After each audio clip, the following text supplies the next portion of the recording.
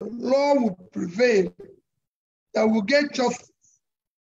If in the end, otherwise, we will all sit down as a family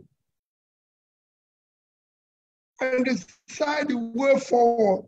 Like birds flocking together, and the old saying goes, Show me your friends, and I will tell you the kind of person you are. Observing the ministerial nominees, it becomes evident what kind of person Tinubu is, as well as the type of associates he prefers to work with. While one of the nominees, Stella Okotete, faced numerous accusations, ranging from document falsification to monumental fraud when she was appointed to the Nexim Bank Board, our focus shifts to Danladi.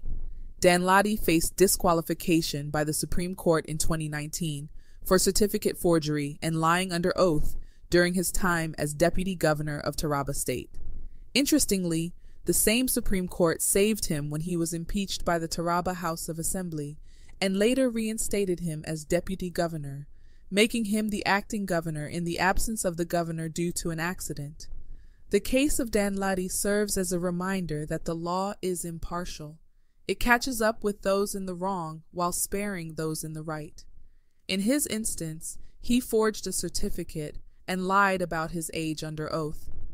The appeal he made to the Supreme Court, which included the current Chief Justice of Nigeria, resulted in a unanimous judgment against him, sacking him, and declaring that the APC had no governorship candidate in Taraba State in 2019.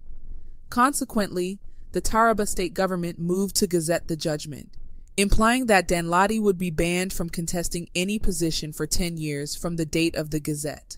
However, it remains unclear if the Taraba state government eventually raised the white paper, which would have prohibited Danladi from participating in any election for the next 10 years, and whether they charged him for perjury, considering that the Supreme Court had already established that he lied under oath and falsified his age. Turning to the present, Tinubu is facing similar accusations before the Presidential Election Petition Tribunal. Regardless of the tribunal's verdict, it is highly likely that the losing party will appeal to the Supreme Court. The Chief Justice of Nigeria's role in this scenario is crucial, and it remains uncertain whether he will participate in the five man panel that will hear the appeal or appoint five different justices. It is worth noting that two current Supreme Court justices were part of a previous panel that disqualified Saleh for certificate forgery, indicating a precedent for such cases. Tinubu is facing accusations of certificate forgery and lying about dual nationality. The outcome of these proceedings will significantly impact Nigeria's future and its citizens, regardless of their social status. As the Supreme Court decides on the presidential election petition, past judgments in similar cases may influence the outcome, raising questions about adhering to precedent. Many people caution against going overboard or overreaching, urging that we should let the justices do their work and refrain from making hasty judgments. However, they often overlook a crucial fact. When someone is caught red handed committing a crime, the evidence is abundant and the verdict becomes almost entirely predictable. Except in the peculiar context of Nigeria, where unexpected outcomes occasionally occur, the truth becomes evident when there are no hidden agendas. This principle applies not only to this specific case, but generally when the police seek to prosecute someone for a crime.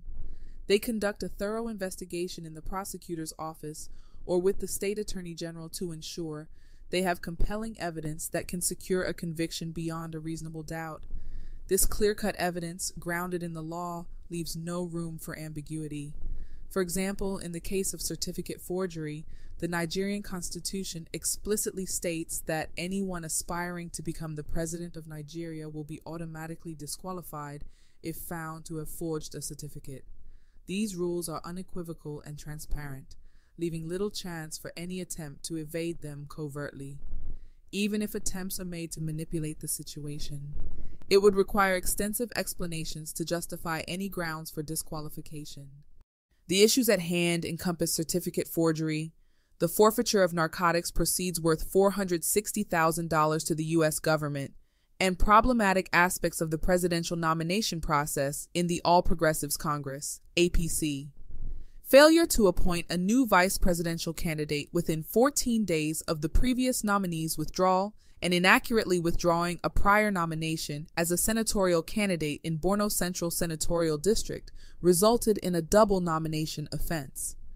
Furthermore, the matter of dual nationality, though not inherently a crime, raises concerns as the Constitution frowns upon presidential candidates willingly embracing another country's nationality. Swearing an oath of allegiance to a foreign country and subsequently lying about it on the Independent National Electoral Commission, INEC form, constitutes another significant issue. Additionally, the failure to score 25% in Abuja poses a potential invalidation of the candidate's declaration. Considering these circumstances, the magnitude of the challenges faced by anyone attempting to subvert justice becomes evident. The situation is straightforward and the laws are clear. Nigeria cannot afford to experience unexpected outcomes this time, as the stakes are too high. The decisions made will undoubtedly shape the future of the country, and everyone will have to bear the consequences.